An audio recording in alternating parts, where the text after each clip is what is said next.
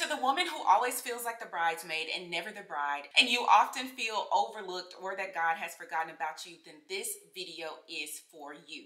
So, sis, if you've ever had to smile through a friend's engagement, a wedding, a baby shower, and you've asked yourself, God, when will it be my turn? Then keep on watching. Back to my channel. My name is Lady V. If you're new here, sis, hey girl, hey. I pray that I say something in today's video that blesses and encourages you as you navigate love, life, and everything in between with style and grace. So today's video is especially for my girlies who are single out there and are feeling frustrated and are feeling overlooked and are questioning God about their singleness. They're tired of always being the bridesmaid and never the bride. Sis, I got you. I have had to navigate those feelings as well. And so I decided it would be good to create a video that exists and will encourage other women who are trying to keep the faith while being single. So that's what this video is about. Let's get to it. Wedding day. We are getting one of my great, great friends married. Look how beautiful this place is. So the ceremony will take place over here. That's where we will be with the bride. So beautiful.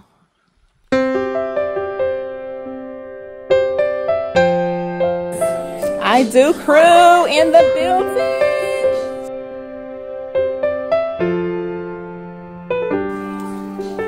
Say I do. Say I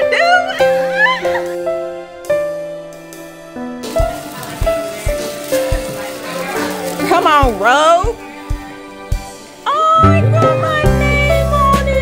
Ro. It got my name on it. Come and put your name on it. put your name on it. These are so cute. That's maid duties. Let's go. Got my rope and I put it on.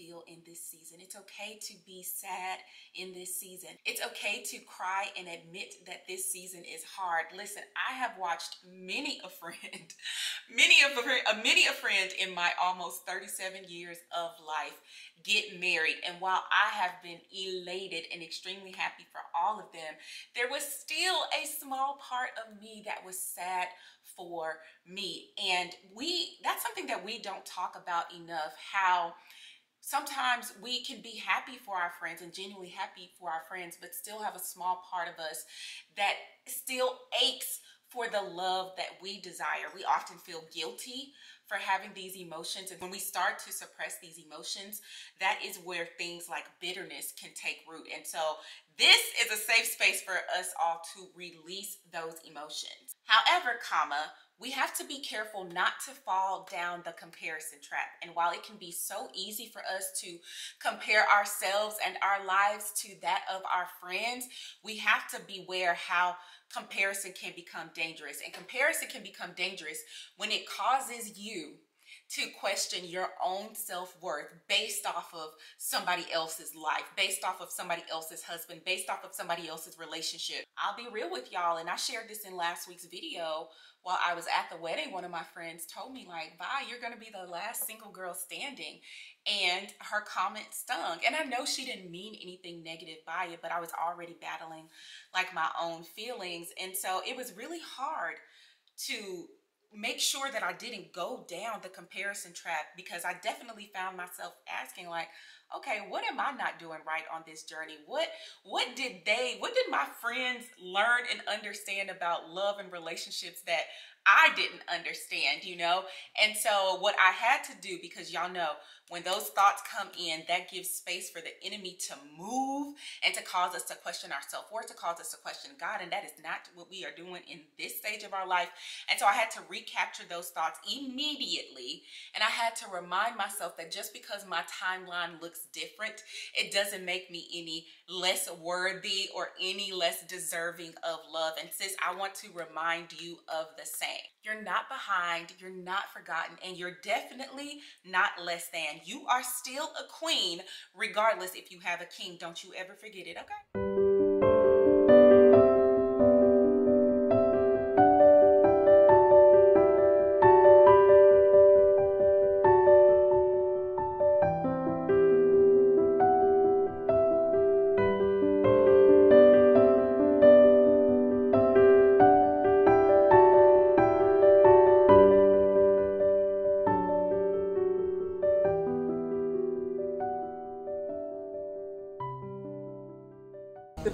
Version of my favorite memory of my roommate on there. I was gonna say the time that she got drunk and we had to take her to IHOP and she wouldn't eat that pancake. And we kept saying, Andy, you need to eat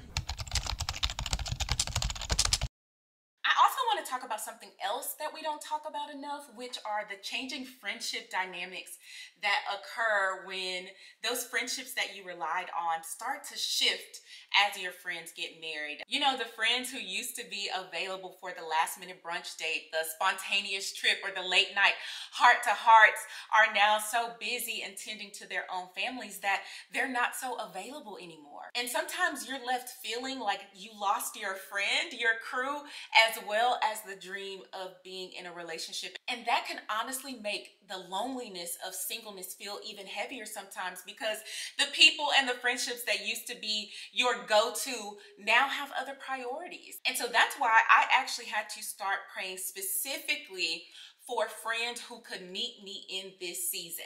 It doesn't mean that the friendships that you've known for years are no longer valuable. It just means that those friends are in a new chapter and that's okay. And it's also okay for you to pray for friends who are available and who can journey through your singleness together. So I'll share a personal story. Um, one of my good, good friends, and I did get her permission to share this story. Um, we were really close um, right after, well, in college, right after college and all the things. Um, but eventually she got married and I remember mourning the loss of the friendship. I was young, we both were young. And so this was probably one of the first times that I had experienced a shift in friendship dynamic due to someone being married. And I was just like, oh, this feels weird. Like I'm trying to call you and you know continue to foster that relationship and you're not as available anymore. And it was hard for me at the time. I was really struggling because she was like one of my best friends. And so um, eventually we got to a space where we were able to talk about it. And unbeknownst to me the changing dynamic impacted her as well because now she was trying to figure out how to be a wife, how to be a mother, and how to still show up as a friend while also still showing up for herself. Now, me at this ripe age of 37, I can totally understand that, and I have a way different perspective on changing friendship dynamics now than I did at like 20 something. How old were we when you got married? Because I know she'd be watching my videos. How old were we when you got married? I think we were like 30 I think we were roughly around 30. Um, and so, you know, but I didn't know all of that. So I share that with you all to let you know that just because the friendship dynamics change, it doesn't mean that that friend no longer values you or no longer loves you, right? It just means that they're in a new chapter and that's okay. Um, she and I have been able to uh, talk about it and we are still very, very good, great, and close friends today. In fact, we're probably closer than we have before because the conversations we be having now is just on a whole new level, and I'm so grateful for that. How cute are our bouquets? This is the bride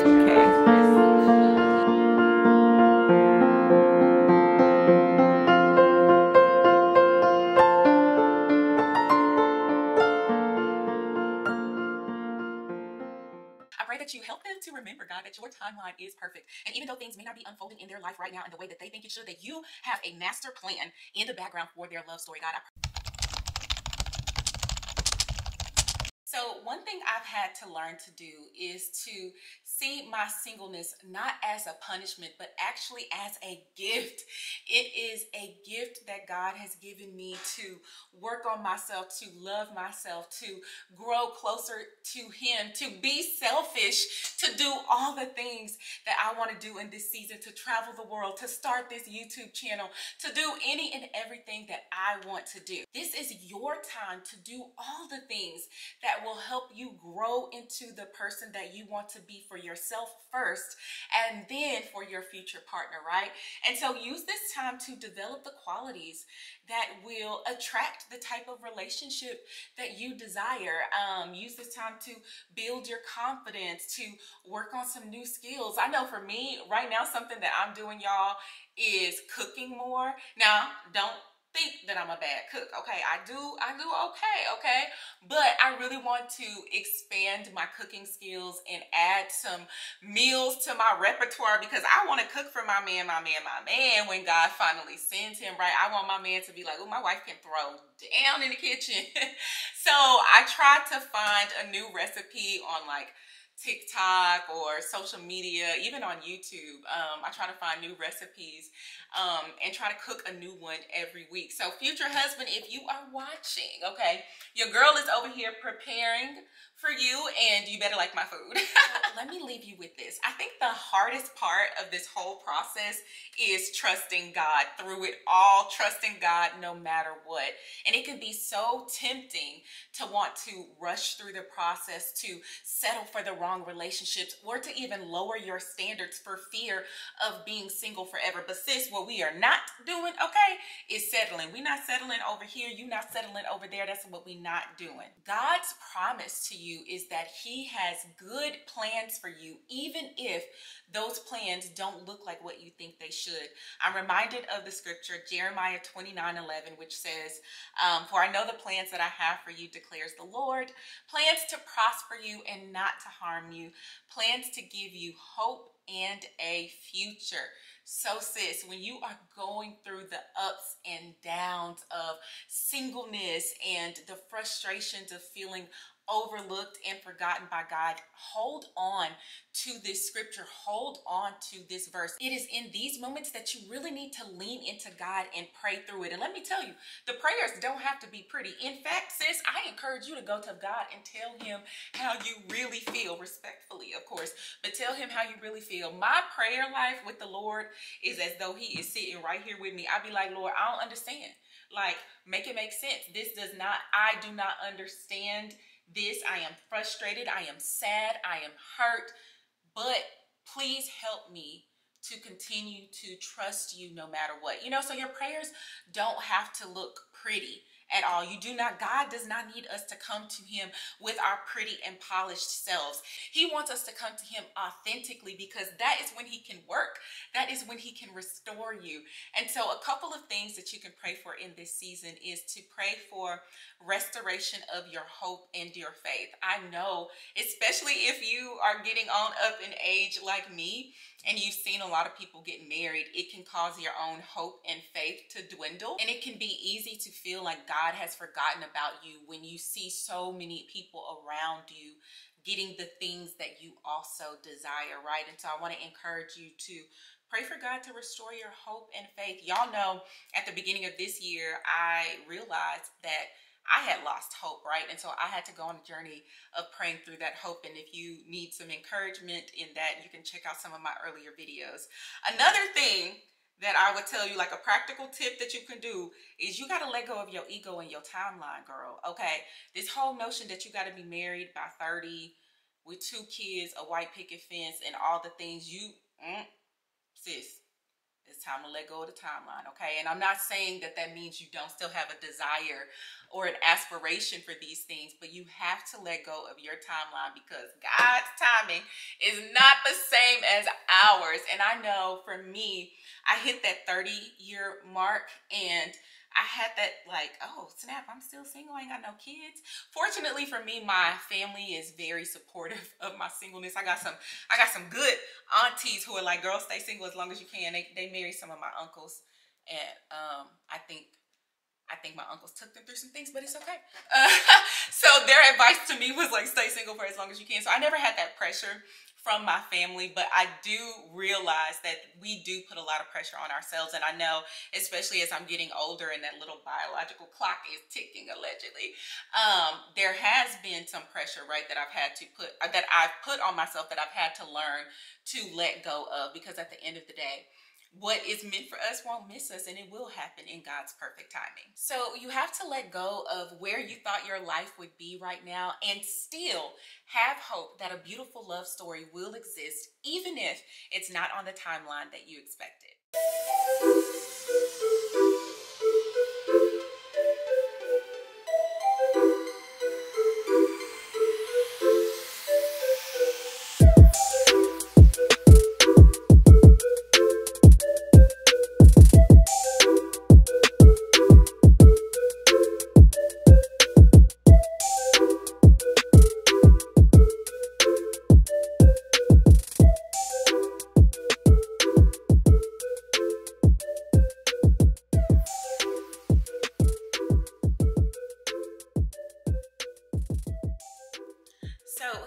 You have been watching this video and you are feeling tired, overlooked, and frustrated with God, then I just want to remind you of something.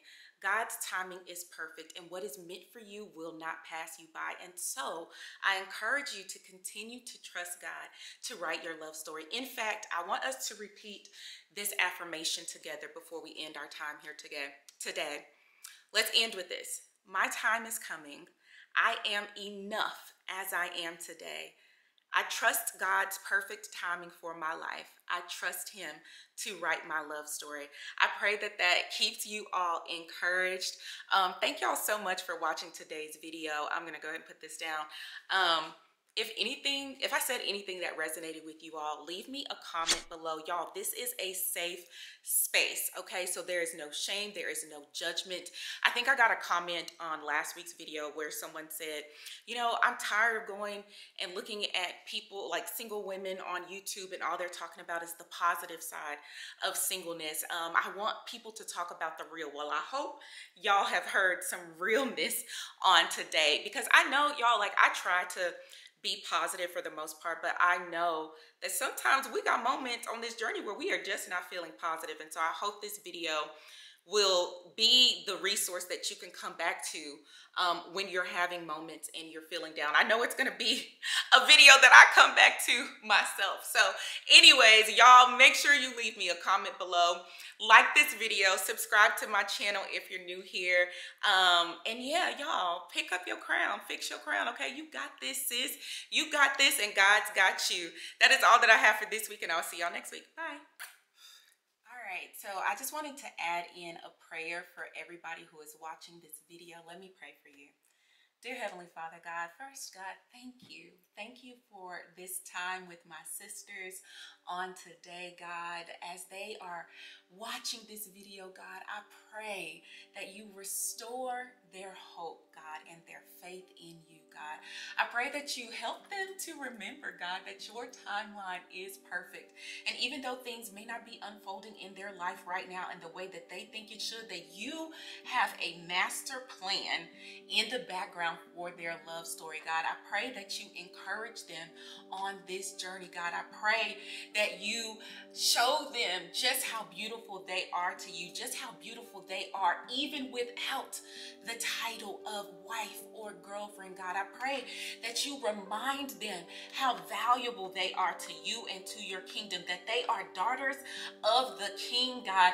And because of that, you are working everything out for their good and your glory, God. I pray against any negative and mental attacks from the enemy right now in the name of Jesus. Any attacks that will cause them to doubt their own self worth, God, that will cause them to settle for unhealthy relationships, God, that will cause them to lower their standards when you know that they deserve your absolute best in a partner, God. And on this journey, God, I pray that as they continue to evolve into the women that you have called them to be, that they start to find peace and contentment and happiness and joy in this season, God. You know, I always say that um, the grass is greener where you water it, God. So I pray that you help to give them the tools to start to water their singleness and thrive, God. Show them their purpose, God. Show them things that will continue to help them evolve into the women you have called them to be, God. And if they are lacking in friendships, God, if they are struggling with loneliness, I pray that you bring friendships and community into their life that will encourage them, that will uplift them, that will go to the brunch dates, that will travel the world, that will pour into them right now in the name of Jesus. And before I end this prayer, God, even though we are learning to be content in our singleness, God, we still have a desire for love, God. We still have a desire for marriage. And so I pray, God, that you remember my sisters, God, that you remember every woman who is watching this video, God. You know their heart's desires. And I pray that you bring them in alignment with that person that you have especially crafted for them, God. We are believing you right now in the name of Jesus that our love stories will be the most beautiful love stories, far beyond what we could have ever imagined or thought. And we lift all of this up to you